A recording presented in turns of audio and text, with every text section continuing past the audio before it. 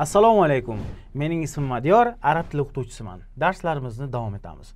Ushbu darsimiz mavzusi uchinchi bob fe'li ikkinchi qism. Uchinchi bob fe'li haqida oldingi darsda gaplashgan edik. Bu mavzuga qaramay turing avval menga quloq soling. Uchinchi bob fe'li qanday yasalar edi? Sizga savol. O'ylab ko'ringda. Adashmasam to'g'ri topdingiz. Uchinchi bob fe'li faala vaznidan hosil bo'ladi va faala vaznini ichida fadan keyin alif cho'zish bilan yasaladi. Ya'ni faala ko'rinishida yasaladi. Demak uchinchi bob fe'lining vazni yoki qolipi faala bo'lib hisoblanadi. Tushunarlimi? Demak bu uchinchi bob. Endi uchinchi bob fe'li qanday ma'nolarni ifodalaydi? Ho'p faala bo'lsa u qilmoq bajarmoq. Faala bo'lsa qanday ma'nolarni ifodalaydi? Mana shu savolga bugun javobni topishga harakat qilamiz birgalikda. Albatta topamiz. Xo'sh birinchisi demak bu ma'lum bir fe'lni birinchi bobdan uchinchi bobda yasaganimizda yoki umuman uchinchi bob qolipidagi fe'lni ko'rganimizda undan qanday ma'nolarni eslasak bo'ladi degan savolga birinchi javobimiz ikki shaxs tomonidan birgalikda bajarilgan ish harakatni bildiradi. Ikkita odam qilgan ish harakat. Mana shu uchinchi bobdagi fe'lning birinchi ma'nosi. Misol uchun faala bajarmoq faala birgalikda bajarmoq. Ikki kishi ya'ni yana bir kishi bilan qo'shib qo'shilishib bajarmoq. Masalan misol uchun mana raqasa bu raqs tushmoq. Raqasa bu biror kishi bilan birgalikda raqs tushmoq. Tushunyapsizmi? Jalasa bu o'tirmoq. Siz o'zingiz o'tirasiz. Jalastu men o'tirdim. Jalasa bo'lsa biror kishi bilan birgalikda o'tirmoq. Jalastu desangiz kimdir bilan o'tirganingizni bildirasiz. Demak doraba bu urmoq doraba biror kishi bilan birga urushmoq mana kimdir bilan urushib ketmoq. Tushunyapsizmi? Mana mana shu ma'nolarni bildirar ekan. Demak yana bir marta takrorlayman. Ya'ni uchinchi bob fe'llarining birinchi ma'nosi bu. Biror ish harakatni kimdir bilan birgalikda bajarganlikni ifodalar ekan. Endi siz uchun eslatma. Uchinchi bob fe'li bu ma'noda ishlatilganda ya'ni kimdir bilan birgalikda ma'lum bir ish harakatni bajarish ma'nosida ishlatilganda ish harakatni bajarishda qatnashgan ikkinchi shaxs ikkinchi shaxs predlogsiz tushum kelishigida yoki nasbda keladi. Masalan amsi jalastu mahmudan. Amsi jalastu mahmudan. Bu yerda qarang o'zi masalan man birinchi bobda shu fe'lni berganimda qanday bo'lardi? Amsi jalastu maa mahmud deb aytardim. Ya'ni men kecha mahmud bilan birga o'tirdim degan ma'noni bildirar edim. Lekin bu yerda fe'lni o'zagini o'zgartiryapti ya'ni jalastu so'zini o'rniga jalastu so'zini ishlatyapti. Va nima bo'lyapti? O'sha kimdir bilan o'tirganligiga ishoraku bu fe'l. Va undan keyin kelayotgan shaxsni ta'kidlaganda ya'ni mahmud degan ismni olib kelganda biz nima qilamiz? Maa ya'ni harful jarni olib tashlaymiz predlogni olib tashlaymiz va mahmudan degan so'zni qo'yamiz. Ya'ni mahmud so'zini nasbda keltiramiz. Ya'ni tushum kelishigida olib kelamiz. Tushunarlimi? Shunda ma'no kecha men mahmud bilan birga o'tirdim degan mm, ma'noni anglatib keladi. Ya'ni ma'no shunday ma'noni anglatib keladi. Ajoyib gap bo'ldi. Lekin siz tushundingiz.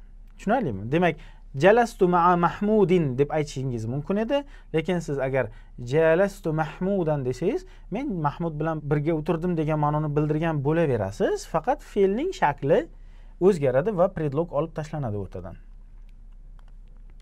Davom etamiz. Endi xuddi shu fe'l yana boshqa ma'nolarni bildirib kelishi mumkin. Masalan biror kishi ish harakatni bajarishga intilish ma'nosini bildiradi. Ya'ni ma'lum bir ish harakatni qilishga intilish ma'nosini bildirar ekan uchinchi bob fe'li. Buni ko'ramiz. Masalan sabaqa oldinga o'tmoq. U sobiq so'zi ham oldingi degan ma'noni bildiradi o'zbek tilida bor. Sabaqa oldinga o'tmoq. Sabaqa oldinga o'tishga intilmoq. Shuning uchun ham musabaqa so'zi bor a musobaqa degani ya'ni kim o'zarga degani. Mana so'z qayerdan kelib chiqyapti? O'zbek tilini ham o'rganasiz arab tilini bilsangiz. Tushunarlimi? Demak sabaqa shundan kelib chiqyapti uchinchi bobdan. Masalan sobara sabr qilmoq bo'lsa sobara sabrli bo'lishga intilmoq. Tushunarlimi?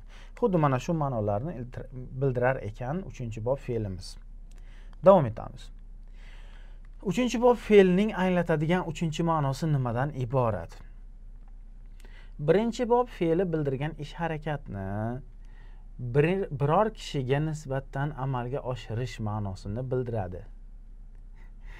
Hozircha tushunmadingiz a masalan birinchi bob fe'lida ma'lum bir ish harakat sodir bo'ladi. Masalan faala bo'lsa bu qilmoq. Faala bo'lsa birgalikda qilmoq dedik. Yoki bir narsani qilishga intilmoq dedik. A bu yerda nima? Bu yerdagi ma'nosi ma'lum bir narsani qilishga intilmoq.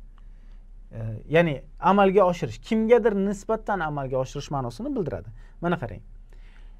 Misol uchun hasuni yaxshilamoq hasana biror kishiga nisbatan yaxshi munosabatda munosabatda bo'lmoq. Amila ishlamoq amala biror kishiga nisbatan yaxshi munosabatda ish ko'rmoq. E'tibor berib qarang mana bu so'zimiz sizga tanish bo'lishi kerak. Amaladan muomala so'zi kelib chiqqan. Mana muomala qilib gapiring deganda yaxshi munosabatda gapiring yaxshi muomalada ish ko'ring degani. Ya'ni muomala so'zini o'zi yaxshi gapirish kimgadir nisbatan yaxshi amal qilish degan ma'noni bildirar ekan. Tagini ko'ryapsizlarmi qayerdan kelib chiqyapti? Arab tilidan kelib chiqyapti. Shuning uchun arab tilini o'rganish kerak. Ho'p tushunarlimi? Davom etamiz. Endi keyingi ma'nosi to'rtinchi ma'nosi bor ekan. Biz uchta ma'nosini dedik. Birinchisi birgalikda bajarmoq dedik. Ikkinchisi kim nimadir qilishga intilmoq ma'nosini beradi dedik. Uchinchisi demak kimgadir nisbatan biror ish ko'rmoq degan ma'noni beradi dedik. To'rtinchi ma'nosi ayrim uchinchi bob fe'lining ma'nosi boshqa fe'llar birinchi bobi fe'li ma'nosi bilan bir xil. Masalan safara bu safar qilmoq. Siz kimdir bilan safar qildim degan ma'noni bermaysiz bu yerda. Shahada bu ko'rmoq tomosha qilmoq shahada. Bu kimdir bilan ko'rmoq yoki nimanidir ko'rishga intilmoq yoki kimgadir e, kimnidir ko'rish ya'ni kimnidir ko'rmoq ma'nosi emasda e, o'zi bo'lishi mumkin shunaqa. Lekin mana shahada deganda kimgadir nisbatan mana shu ish harakatni qilish ma'nosi bormi? Savol sizga. O'ylab ko'ringda. Bir tomondan ha bor. Lekin asosiy ma'no shu ko'rish ish harakatida bu yerda. Davom etamiz. Endi beshinchi ma'nosi ham bor ekan. Ayrim uchinchi bob fe'llaridagi semantik o'zgarish juda qadimgi davrlarga borib taqaladi. Ya'ni qadim qadim zamonlarga borib taqaladi va bu fe'llarning ma'nosi lug'at yordamida aniqlanishi mumkin. Ya'ni siz bilmaysiz bu qaysi ma'noda ishlatilyapti? Mana u yuqoridagi to'rtta ma'noda ishlatilyaptimi yoki boshqa ma'nodami? Qayerdan bilaman desangiz buni siz lug'atdan ko'rishingiz mumkin yoki simai ya'ni eshitish orqali o'rganishingiz mumkin. Ya'ni arablar qanday ishlatadi? Siz arab davlatiga tushib qolasiz u yerda ma'lum muddat yashaysiz muomala munosabatlarni ko'rasiz. Qanaqa ishlatishyapti? O'shandan bilib olib ishlatasiz. Ya'ni boshqa yo'li yo'q chunki arablarni o'zi ham shunday o'rganishadi tushunarlimi? Ayrim so'zlar bor ular arablar ham o'sha so'zlarni bilmaydi. Xuddi biz o'zbek tilida ham hamma o'zbek hamma o'zbekcha so'zlarni bilmaydiyu. Shunga o'xshagan narsada bu ham. Xo'sh masalan dafaa itarmoq degani dafaa bu mudofaa qilmoq degani. Kafaha yuzma yuz bo'lmoq kafaha bu kurashmoq. Saida baxtli bo'lmoq saada yordam bermoq. Mana shunday ma'nolarni bildiradi. Endi lekin lekin e'tibor berib qarang mana shu uchta so'zimizni hammasida ham tag ma'nosida uchinchi bobga o'tgandan keyin ham baribir ham sizda mana shu ma'nolar birinchi ma'nolar saqlanib qolyaptida. Chunki siz dafa mudofaa qilish orqali dushmanni itarib chiqaryapsiz davlatingizdan o'zingizni vataningizdan. Ya'ni kafaha ya'ni kurashish orqali e, kimdir bilan yuzma yuz kelyapsiz baribir. Saada yordam berish orqali kimnidir baxtli qilyapsiz. E, mana shu ma'nolar borda bu yerda tushunyapsizmi? E, shunaqa gaplar. Endi siz uchun uyga vazifa quyidagi fe'llarning o'zagini bobini nisbatini zamonini shaxs sonini aniqlab chiqasiz. Tushunarlimi? Uch soniya beraman skrinshot qilib oling bo'ldi. Shu yerda darsimizni nihoyasiga yetkazamiz. Shukran lakum ala ihtimamikum. Ma'assalama.